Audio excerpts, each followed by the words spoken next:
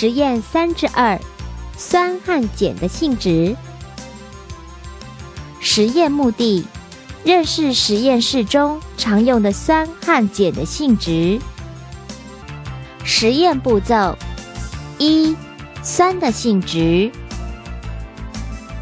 一，在两桶中加入两毫升的硫酸，观察并记录硫酸的颜色与外观。二，在烧杯中加入约三十毫升的水，用温度计测量并记录水温。三，将两桶中的硫酸倒入装水的烧杯中，注意。千万不要将水注入浓硫酸中，以免引起危险。如果手不小心碰到硫酸，应立刻以自来水冲洗。以波棒搅拌，使硫酸溶解于水。再用温度计测量并记录水溶液的温度。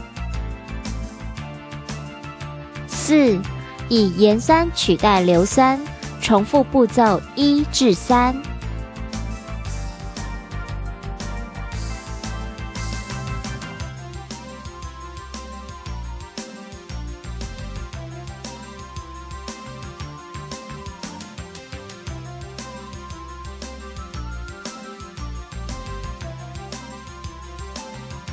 五，以醋酸取代硫酸，重复步骤一至三。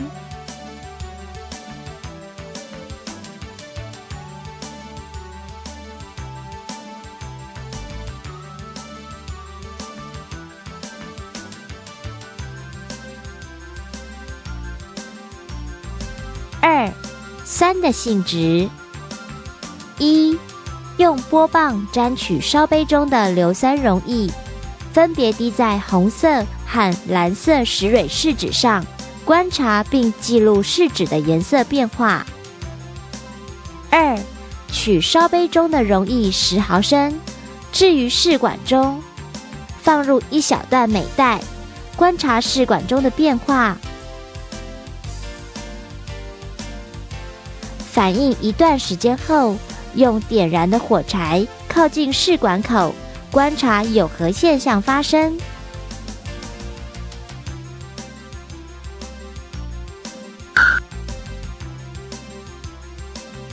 三，取烧杯中的溶液十毫升，置于另一个试管中，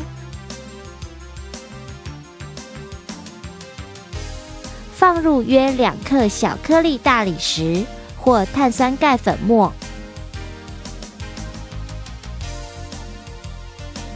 观察试管中的变化，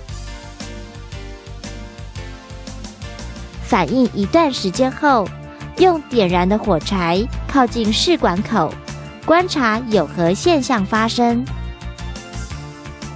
四，以盐酸溶液取代硫酸溶液，重复步骤一至三。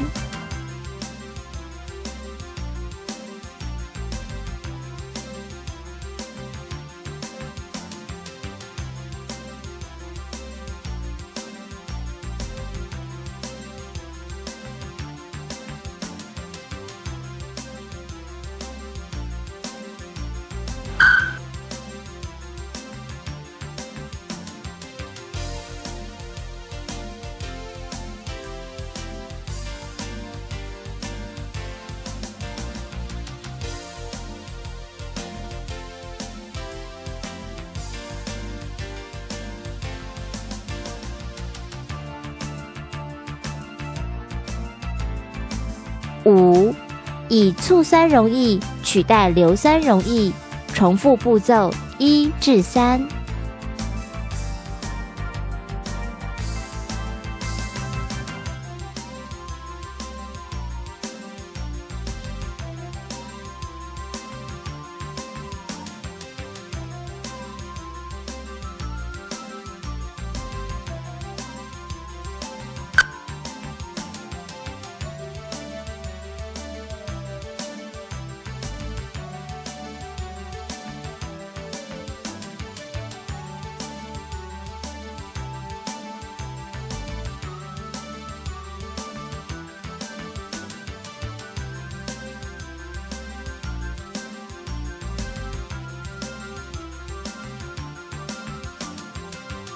三、碱的性质：一、取约一克的氢氧化钠放在表玻璃上，观察并记录氢氧化钠的颜色与外观。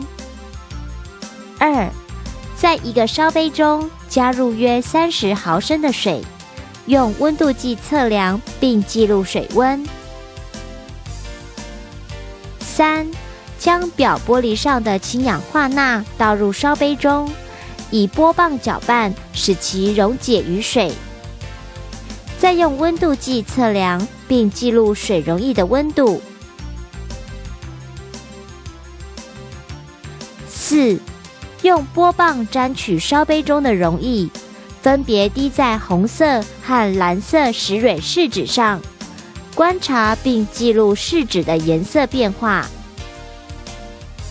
五，用手指沾取一点点烧杯中的溶液，搓揉一下，将感觉记录下来。注意，氢氧化钠溶液容易具有腐蚀性，搓揉后应立即洗手。六，以氢氧化钙取代氢氧化钠，重复步骤一至五。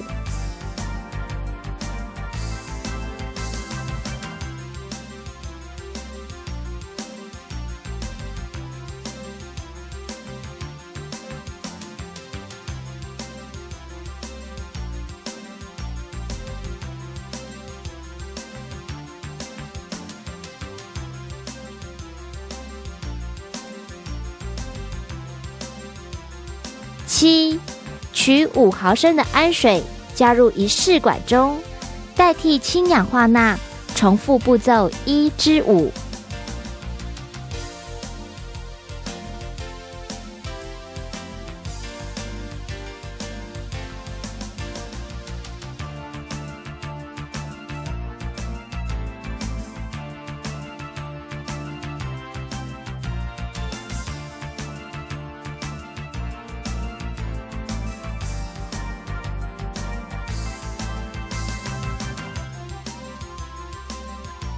问题与讨论：一、酸与碱溶解在水中时，水溶液的温度有什么变化？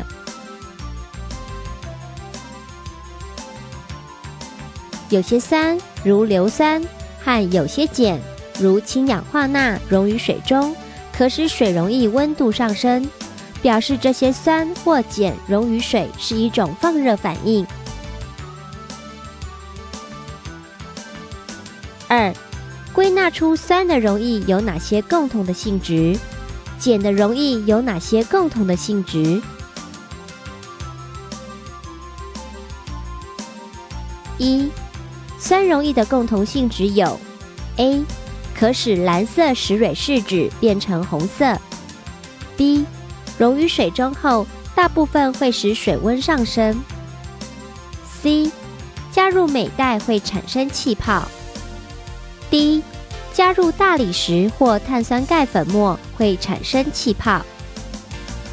二，碱溶液的共同性质有：A，可使红色石蕊试纸变成蓝色；B，溶于水中后，大部分会使水温上升；C，有些碱性水溶液摸起来有滑腻感。